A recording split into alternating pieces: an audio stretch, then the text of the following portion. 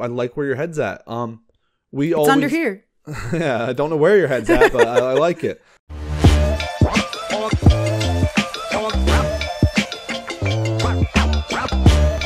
Hello and welcome back to the Croak and Crow podcast. I am Spencer Cardia. I am Susan B. Anthony. Susan B. Anthony, I know her. And this here is Frank, looking very fashionable in the, the vest. I've never worn a vest, like ever. Wear it. Maybe I should. Swear it right now. It's too nice out. I'm wearing a t-shirt. Wear it. Wear it. Do it. This this is getting crazy, First, guys. first time you want to wear it. It's reversible. A, oh, I'm no, I can't do red and red. okay. Guys, you are witnessing live on air the first time I've ever worn a vest. Wardrobe change. Now, my question's always been, how do you, vests You, you would probably want yours smaller. how do vests keep you warm? Oh, because they protect your core. But like, does it actually work? Yeah, of course. Like, it- like you know, it's like the the preppy look. look at my little shorts.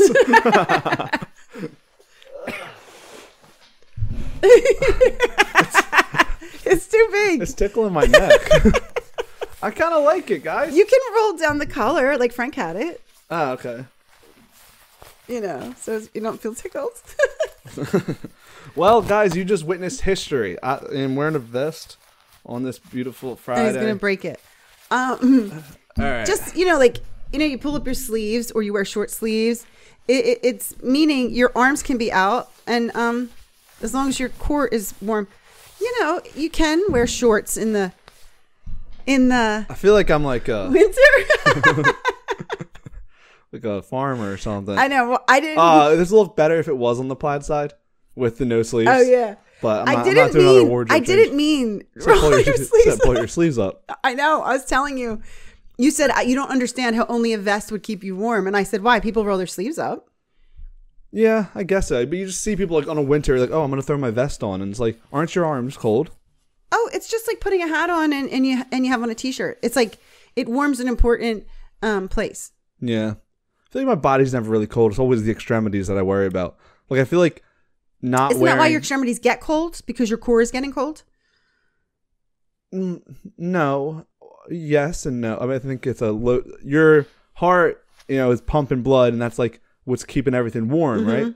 And so the furthest places away from that pumping Can't and, go all and the way out there. warmth- Can't take the trip. just imagine like uh imagine anything um if you're if you're cooking food it's the outside will will get the heat first or cold first let's move on i don't really know anything about thermodynamics I was Susan B. Anthony. Have, has everyone forgotten her? i know the name and so i guess yes like i feel like that's a household name susan b anthony She she has the coin. the who Coin. she has the coin Yeah, like the two dollar coin or something. shows she's on money Yeah. there's a woman on money Susan B. Anthony. I, yeah. what does she do she didn't take the first flight across the atlantic did she No.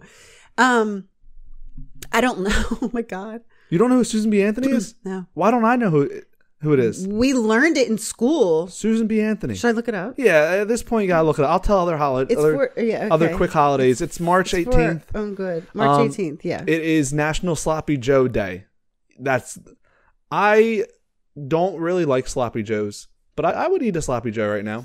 Why I don't like sloppy joes is because I feel like it's all it's like a a poor man's pulled pork sandwich. And man, I love pulled pork sandwich. I feel like I should roll my sleeves up. And say, I love me some pulled pork sandwiches. yeah. It's also National um, Forgive Your Mom and Dad Day. Oh. Uh, You know, a lot of people uh, sometimes hold on to things from their mom and dad, and we talk about forgiveness on this Christian podcast. And what is the power of forgiveness? It's the peace that you get in with yourself. It's very easy to hold on to something. It's hard to forgive, Right. but forgiving, forgiving is letting yourself out. You know, uh, when you always get surprised by this person who like forgives the person on the on the court stand. You know what Yeah, I of mean? It's like, and it's like after all the terrible things he did, you were Yeah. able to forgive him. My comparison is in a way that person is, is locked up, and you are not putting yourself in a Right. cell of hatred and and remorse. I'm freeing myself. I forgive you, and I, now I'm free of the burden that you carry, and it's Right. it's, it's freeing in a way. Right. So you're more free. That's my little thought. free Uh, and more free. Susan B. Anthony. Yes. Um, we should have we should have talked about her on March thirteenth, Is that her birthday? five days ago. It was her death day. I don't like talking about people. All right. Well, we should have talked about her on February 15th then. birthday. Yeah. Okay. She was an American social reformer and wo- women's rights activist who played a pivotal role in the women's suffrage movement. Mm, old Susan B. Anthony. Um, She was committed to social equality and she collected anti slavery petitions at the age of 17. Oh wow. Um, yeah, so she's important. Like I feel like I don't even remember learning about her, but I feel like I just know the name. I just remember when the coin popped up. Oh, Um, Susan. Wait, why did you bring? her- Why was that your name today? um, because I was going to be, I was going to be Saint Frances of Rome, which is a woman, Uh, okay. and again with the dates, for some reason I thought she was relevant to today, but she's not. Her feast day was March 9th. Wow. You really, you really pounded in It's on a the full moon. Is it? I was noticing a little wacky stuff going on. So was I, because I was in a hospital, and that's where you notice it really strong. Oh yeah, you know Yeah. what? Uh, my uncle, he is works as a respiratory therapist, has worked for years, and just numerically, like, don't even say, oh, we're saying weird things are coming in, like, is subjective. Yeah. Like, was it weird? Or are you just looking for it on a full moon? Just numerically, more people are ending up in the end up in the emergency room. Yeah. On a full moon night, Yeah. opposed to other nights. Babies are born. All, all sorts of things happen to Kind us. of weird, man. So I was confused. You know, this, yeah, this vest kind of makes you feel like, like a conspiracy theorist. Yes. Maybe like I'm like talking, sure. ready to talk about Like a prepper. Yeah. You got a basement full of canned goods. yeah. Um, um, so Saint Frances Of Rome, of Rome. not to be confused with the Saint Francis of Assisi. There's a few Francis. there was. We talked. Was Saint Francis of Xavier? Fran- Saint Francis Xavier, and Saint Francis of Assisi. there was a woman Saint Frances too. I believe that we she took her name after Saint Francis Xavier. yeah, yeah, yeah, yeah. This is another woman, Saint Frances of Rome. She's she founded the um Oblates of Mary. Uh, she was founded a a uh, convent, you know, religious order for nuns, and um she is one of not many. She was she was married, so she Okay. she was a widow. She wanted to be a nun, but she became a nun after she, her husband died Mm. even though she acted like a nun meaning like all charitable she started the order before he died Okay. he was very supportive um and so the thing to remember about saint frances of rome is she was betrothed to a man to get married and she did not want to get married she wanted to be a nun Oh, this was her husband, who ended up passing away. yeah So she was betrothed. Wait, betrothed means what? just means promised Wh- What I'm saying, I guess, is was it arranged? Is yeah what you're saying? It yeah she was only 14 or Okay, 12 or okay. something yeah she, she was like guess she's like to her she, to her father like i'm gonna be a nun and he was like no you're not like you're, You're, gonna you're getting married. and she was like came from a good family they were going to she married Two good um, families. two good families. She didn't want to be and she she she rebelled so much she got very sick and almost died. Mm. um but she would have visions. And um saint alexis saint alexis came to um to her in a vision and said stop it. Get up. Stop stop. trying to not get married.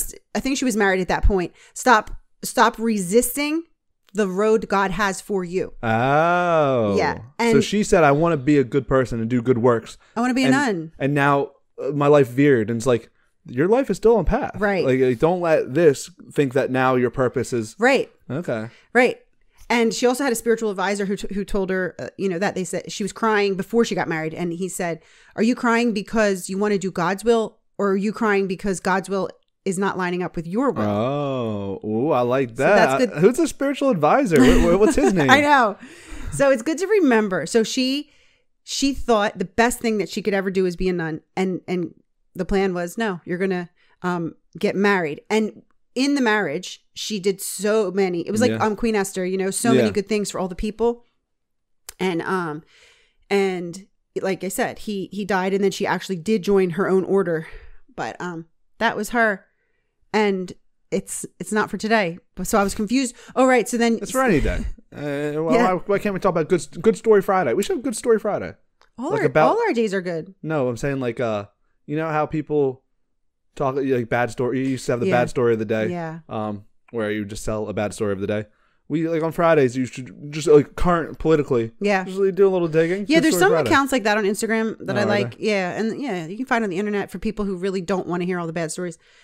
I think John Krasinski, if I'm if I'm not mistaken, in the very beginning of COVID, like it was we were all sheltered in place. Mm-hmm. He came out with a YouTube channel that was like it would every week or what it would come out with like just five minute videos that were just good news. Like in all this bad news, here's some good news.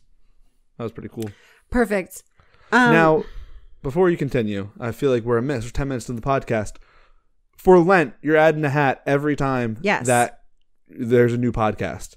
You were at eight last time. yeah, yeah. It looks like you're wearing one. I'm wearing nine. Um, and while you're reading, I'll sh- I'll reveal the the the eight that are under this. Okay, so it's I'm not even counting the headscarf as a, as a hat. So there's eight hats under here, and this is the ninth because today's our ninth Lenten podcast. okay. So it's uh it's a little bit of a Russian nesting doll under there. It is. It's also a little hack. Yeah, you're, you're little a, hat li- hack. little loophole. I mean, that's all right. When I was vegan for Lent one year, I was eating cheesesteaks, but they were vegan cheesesteaks. You gotta find the loopholes. You have to find loopholes.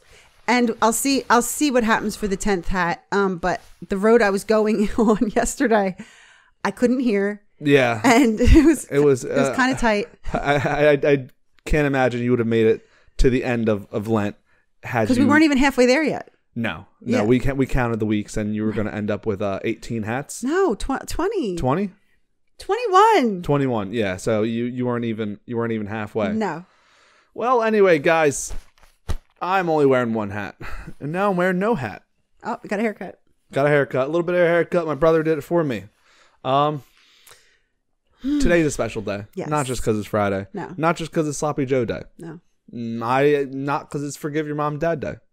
All those reasons are why it's a good day, but more importantly, it is Dr. Seuss Friday. Now you missed the last Dr. Seuss Friday. Were, did. you get a chance to rewatch the episode? Of course I did. I always rewatch. And And I read comments. and um, the book we read. Oh wait, I'll talk about what Dr. Seuss Friday is first, right? Dr. Seuss Friday is a day where we find a Dr. Seuss book and we read it. Some might ask, "What is this? A children's channel? Should I bring my kid over and have him listen?" You can do that, but that's not what it's about. Dr. Seuss, smart guy, wrote these books for kids, but it wasn't all one, two, threes, ABCs, Sesame Street. There's some deeper meanings in these quirky words and rhymes. And although they might be subtle, isn't that, or it might be like, you know, some, like uh, general knowledge, like, oh, be kind. These are things that we can use as an adult. And so we use our big adult brains that are super and powerful. And we go back and we read a Dr. Seuss book and we try to get a meaning from it. Yes. And it's tried and true. It's not like this is, we, we, we've gone through how many? Probably 12? So many. Yeah. I don't 12, 12 books and every time we Maybe walk more. we walk away with a message to walk away from so come join us on our expedition so today and for the past three weeks we have been reading out of this book this book looks like one but it's four dr seuss books it's called horton and the Kwuggerbug and more lost stories and so dr seuss everything he wrote wasn't published to be printed as books Okay. he also worked for magazines where he wrote books. Once the magazines were sold, it's not like those books then still sell. It's the Right. magazines are gone. This person went and found some of these lost stories and printed it in one big book. So we've been going through it. Luckily, it's a gift that keeps on giving. And it came at a perfect time because um, for the past two weeks, I didn't bu- I didn't get a book last Oh, week or this week. yeah, week. you didn't have to Yeah. be running to Barnes and Noble every Right, day. because I wasn't here. So now, what I was saying earlier was, did you get a chance to watch the Marco Comes Late podcast? Yes. Did you? How did you feel about the book? Loved it. Yeah, you kind of remind me of Marco a little bit. Me? Yeah, I could, I could see you see you giving that, that little false story. Storyteller? If you don't if you, if you don't know, you can go check out Marco comes late. It's our it was me and Avalon, Right. my sister. A little different. You were in the hospital today. we're Visiting, not being. not being treated. treated. Probably maybe it would have done you some good. Oh. go to the psychiatric ward. So today we're reading How Officer Pat Saved the Whole Town. All right, mom. Little back in the blue there. We we we we um were interested to, to see what it'll be. It doesn't matter his his Profe- occupation, no. profession rather. Well, yeah. We talked about this earlier, but why not just reiterate? You know, when everyone gets mad at um different things. Like I'm not even going to point out police officers. Like sometimes you get you associate people with things, and something I always tell myself is, don't. It's not the same as defending actions of wrong things. I will. You should always fight against injustice, Mhm. but on a person to person level, uh, a Bible you know, recommendation to look at would be the tax collector, Yeah. who was hated. Right. A lot of them were corrupt. To re- like, you're stealing all my money, and Jesus said was friends with them. It was like, why are you friends with them? Right. It's like, well, they're, they're people, and and so it was the kindness that made them follow Jesus. And so, like I said, I'm I'm not. Uh, I will always be against injustice. I will never be against human beings, if that makes sense. Yeah. Yeah, I just saw um, a post and it had I I don't stand with Ukraine, I don't stand with Russia, I don't stand with um, Palestine, I don't stand with Israel. I just posted these things. Yeah. And at the bottom it said, I stand for all the people who live in all the countries of the world. You see, I did see that. You didn't I was like it. kind of against it. Why? I personally, and you know, this is subjective, saw it as sort of an all lives matter kind of thing.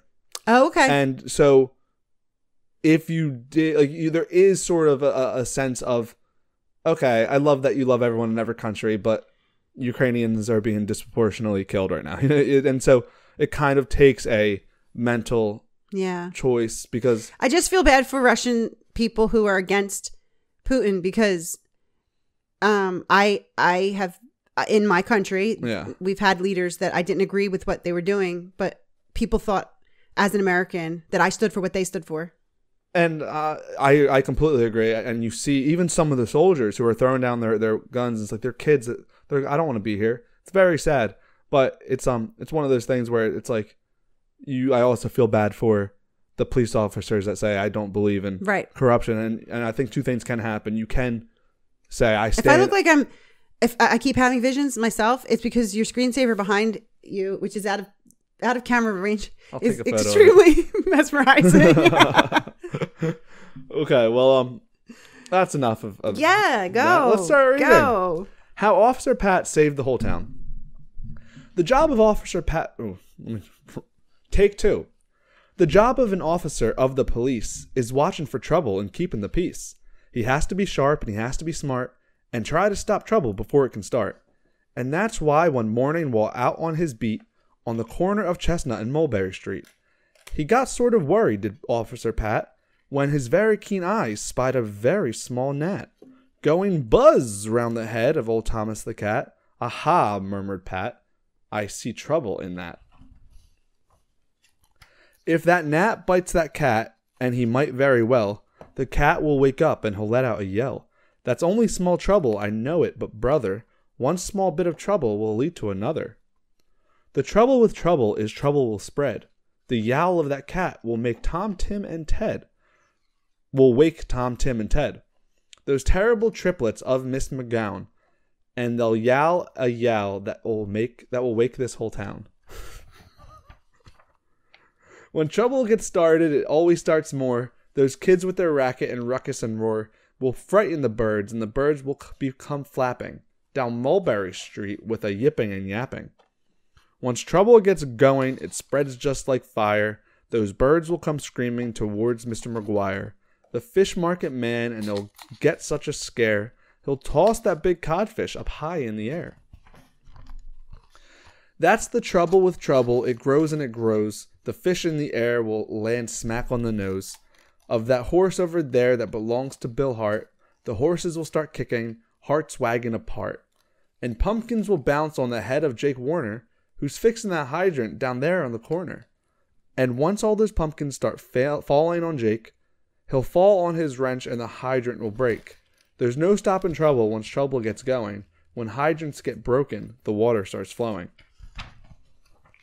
The water will gush right on Miss Manella. She thinks it's rain and will put up her umbrella. And that'll knock young Bobby Burke off his bike. He'll fall on the ladder of house painter Mike. And house painter Mike, when he tr- tumbles, will spill a bucket of paint on the head of Don Dill.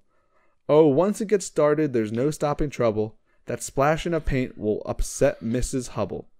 She'll drop all her dishes, they'll smash on the ground, and startle her dog, and the poor frightened hound will jump in the horn of the ho- old horn tooter Fritz.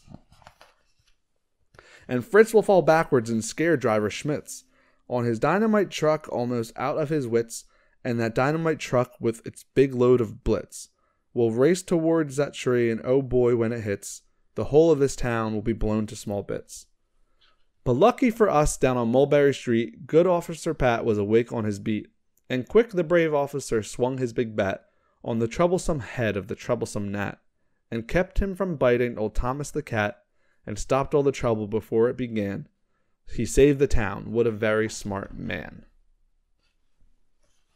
Interesting. Thank you. Thank you, Dr. Seuss. I am interested in this book. I broke the string on my hat, Oh, did you? so I hope it doesn't fall off. But I think I'll be fine. Um, go ahead, tell me. Normally, you know, you get like how do I put this?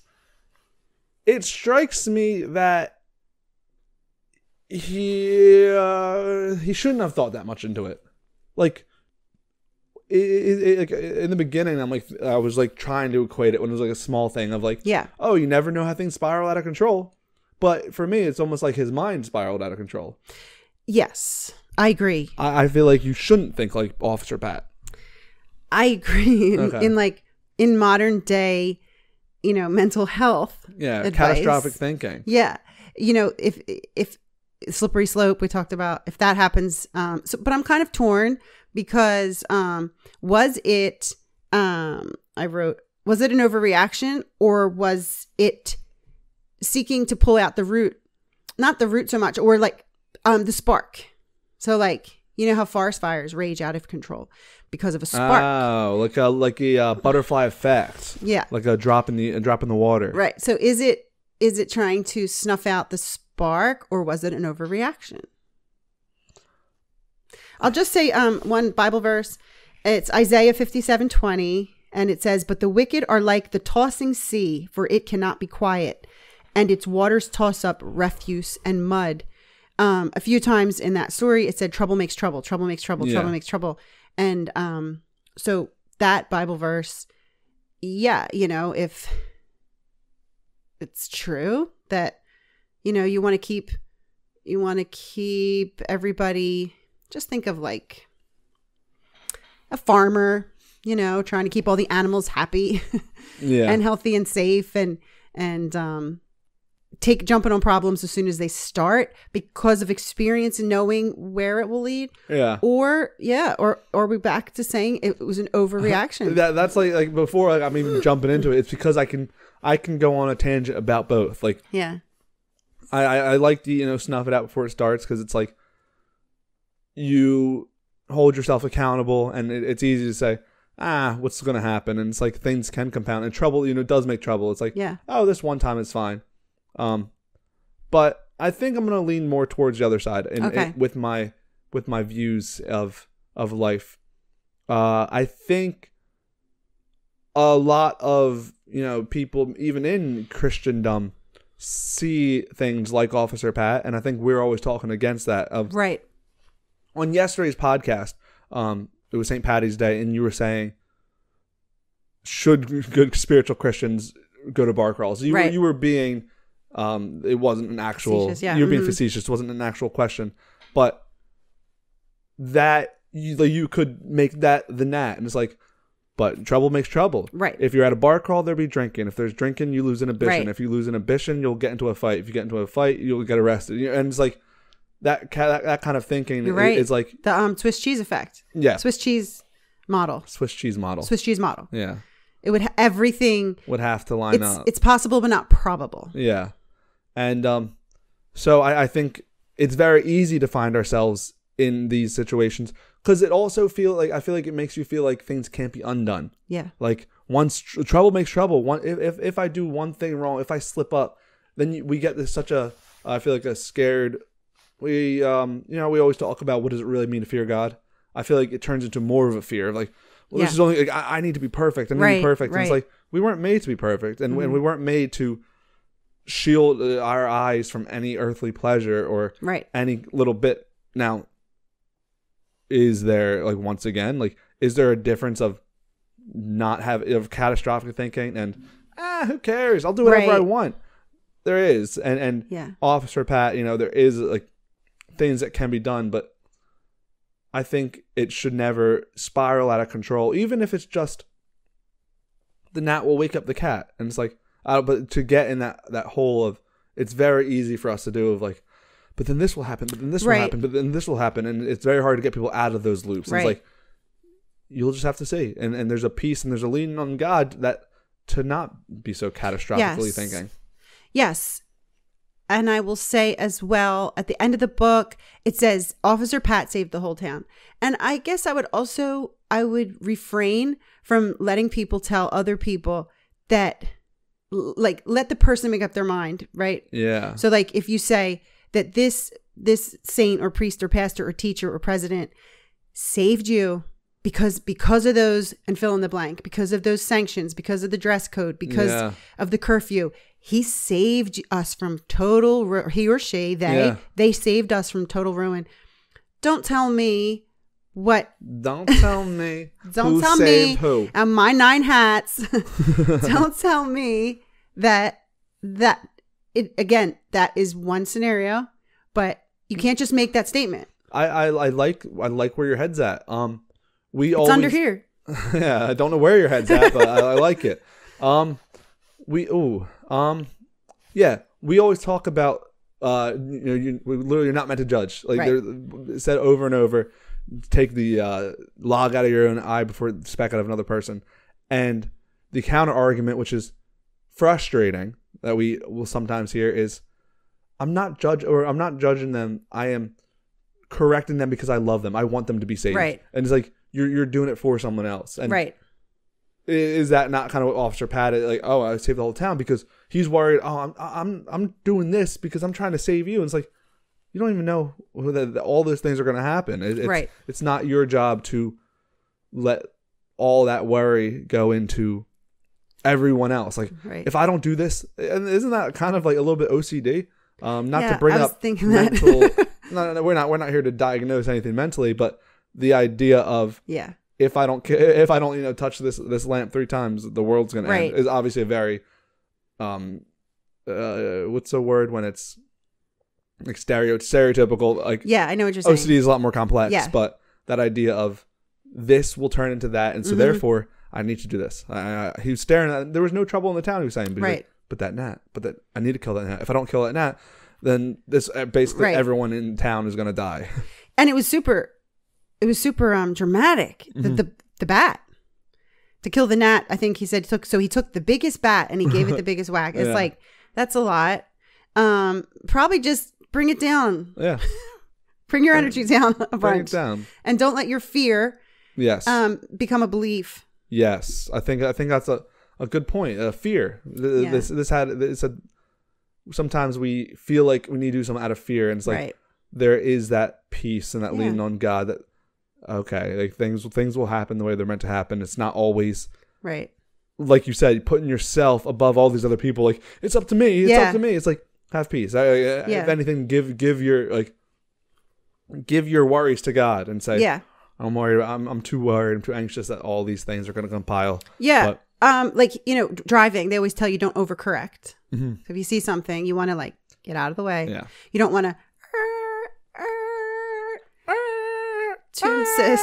Um, so even if even if this um this person who was observing the gnat, maybe they would say, "Hey, I want to keep a l- I want to keep an eye on it. Yeah. Maybe these things will happen. Let me see what happens." But to to be convinced this is Yeah. what will happen, I need to kill the gnat because even if he watched the gnat and the gnat did make the cat yowl, couldn't he have stopped things Yeah. then? Yeah. It was like, no, this this is the only thing I'll ever be able to stop. Yeah. maybe maybe because this it was small. this is trouble and trouble makes trouble. Like it Yeah. was like I just know this is going to get worse. Right. And it's like you don't know that. Right. Have peace. But we all we love peace. yeah. Put your put your fears onto God and let Him comfort you and all that. Oh wait, you said it's um sloppy Joe. It's it's Fish Friday. Oh. You're gonna have to have tuna fish, Joe. Ew. it's uh Fish Friday. If you already had meat, have I had meat yet? Nope. Good. I'm good. Good. You get to go to heaven. if I have meat, then I will. Trouble just makes trouble. That's right. That's right. My whole family would die if I ate meat today. No, joking. That is Dr. Seuss Friday. Hope you enjoyed it. I enjoyed it. On top of everything, I got to wear a vest for the whole time. You did. Um, Vestments. You're a priest. You're wearing vestments. uh, this this this vest was in a good good investment. I'll tell you that much.